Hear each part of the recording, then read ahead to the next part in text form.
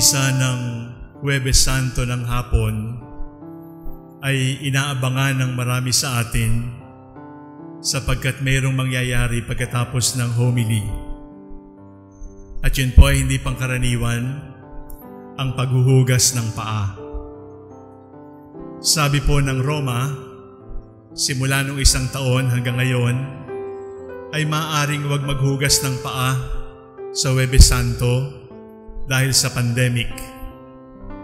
Subalit, pwede namang maghugas din ng paa at mahalaga yon. Kung kayo po ay sanay nang nagsisimba ng Webes Santo, alam ninyo yung paghuhugas ng paa na ginawa ng Panginoon para sa labindalawa. Pero meron po siyang ginawa bago siya naghugas ng paa ng mga alagad. Ano yon? The gospel said, He removed His outer garments. Tinanggal niya ang kanyang panlabas na damit. Mahalaga po yon. Hindi lang niya tinanggap kasi sasayad sa sahig. Yung pagtatanggal ng panlabas na damit ay mayroong sinasagisag. The outer garment is a garment of authority. The inner garment is a garment of necessity. Ibig sabihin po, sa pagtatanggal ng damit panlabas, ay tinanggal niya sa kanyang damit yung tanda ng kapangyarihan. Yung tanda ng lakas, yung tanda ng dunong. Tinanggal po niya yon. Kung hindi niyo maintindihan ay, halimbawa, bubuhat kayo ng balikbayan box, pero kayo nakabarong Tagalog. Bubuhatin mo ba agad? Tatanggalin mo yung barong Tagalog at naka-t-shirt ka, saka mo bubuhatin. Yung ikay naka-Amerikana, at pinagbuhat ka ng refrigerator o ng television o pinagtulak ka ng kotseng nakatirik, di ba tatanggalin mo muna yung jacket, aalisin mo siguro yung kurbata bago mo gawin yung dapat mong gawin. That is what the Lord did. He removed his outer garment because he was ready for the work of the Father. The outer garment is a garment of authority. It is a garment of power. Ano ang turo sa atin na tinanggal niya ang kanyang damit panlabas? Kung ang damit panlabas ay sumasagisag sa kapangyarihan at tinanggal niya yon, ang ibig sabihin ay mayroong mas mahalaga, mayroong mas mataas kaysa sa kapangyarihan. What is more important than being on top? What is more important than being number one? What is more important than being powerful? What is more important than being a man of authority? What is more important than that? Love. Love is more important than authority. Love is more important than being on top. To be loving is more important than being number one. Because the number one may be arrogant. The number one may be hated. The number one may be a cheater. The number one may be a liar. The number one may be a killer. The number one may be feared. But if that number one is not loved, being number one is senseless and meaningless. When the Lord removed his outer garment, He was teaching us a very important lesson in life. To be loving is more important than being powerful.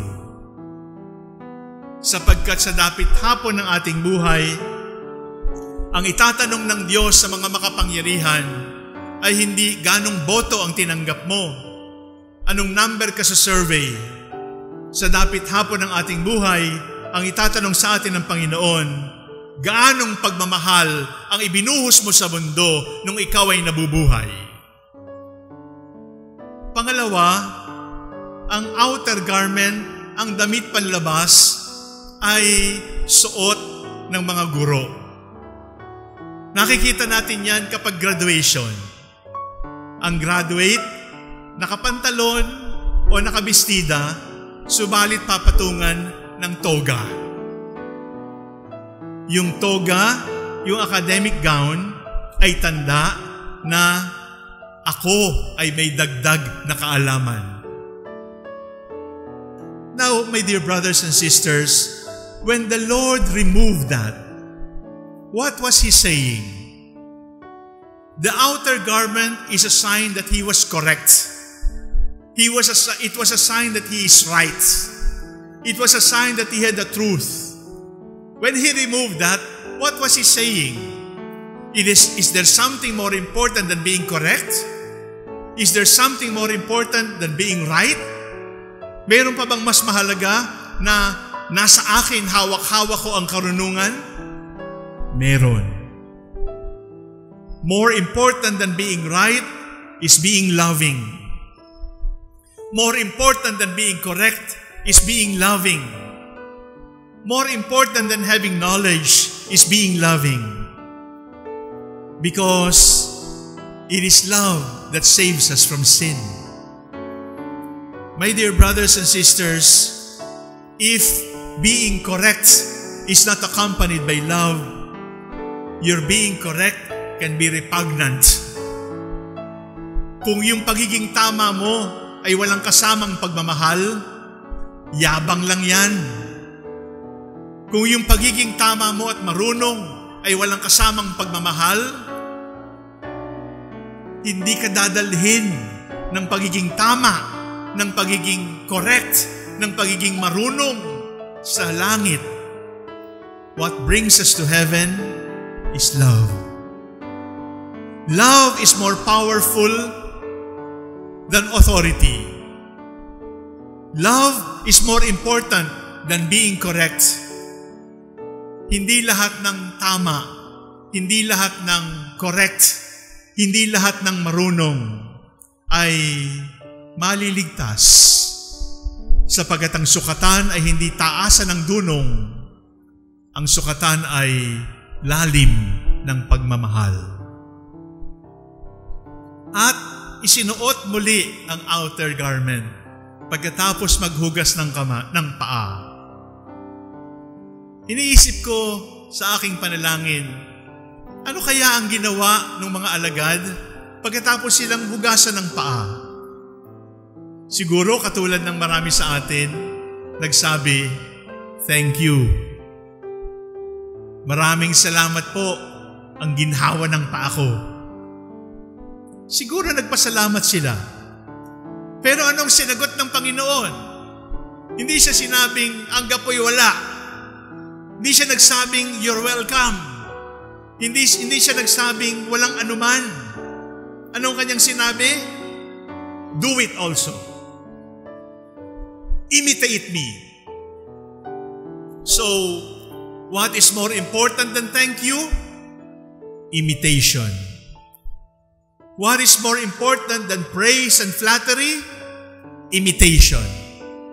Sa katunayan, kapag ikaw ay nagpapasalamat pero hindi mo naman ginagaya, hindi mo naman tinutularan yung pinagpapasalamatan mo, fake yung pasasalamat mo. Because imitation is the sincerest form of flattery. Imitation is the sincerest form of gratitude. Marami ng lessons ang paghuhugas ng paa. Subalit, mayroon din pong aral ang pagtatanggal ng panlabas na damit. Love is more important than power. Love is more important than being correct. And imitation is more important than thank you.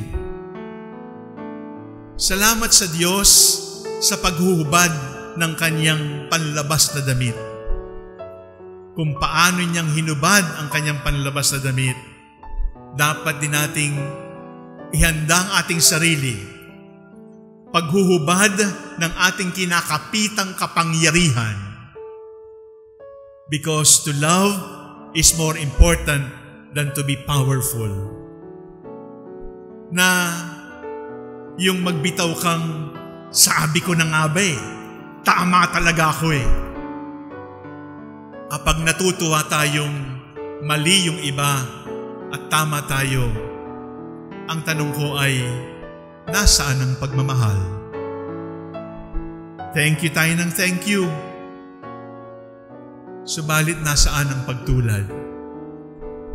At yon ang dahilan kung bakit sa iba't ibang barangay, nag-ipon tayo ng bigas at nagpakain sa dukha.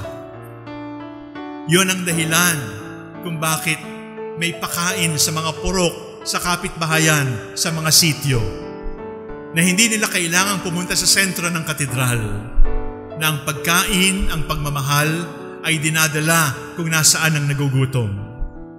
Yon ang dahilan kung bakit kailangan tayong tumulong sa nasunugan sa Arellano. Yun ang dahilan kung bakit may daladala kayong alay ngayon sapagkat ang Huwebes Santo ay walang kwenta kapag hindi natin tinularan yung naghugas ng paa. All of these are not original. None is original. Because the Lord had done it already. And because we want to thank the Lord, we are giving, we are sharing, we are feeding, we are giving drink to the thirsty, we are educating the ignorant with much love. Because love is more important than authority. Love is more important than being right. And imitation is more important than a gratitude from the lips. Thank you for listening. Thank you for watching. Please look for Father Sok on YouTube and uh, I hope you can subscribe to the channel. There I can meet you with more reflections, with more homilies, and then we can interact. And you can also tell me the questions in your heart, the questions in your mind, which I hope I can also answer in the same channel. It is not technology that brings us together. It is the Lord. It is not technology that has brought us together. It is our love for the Lord and our love for the church. May the Spirit continue to work in all of us. God bless you.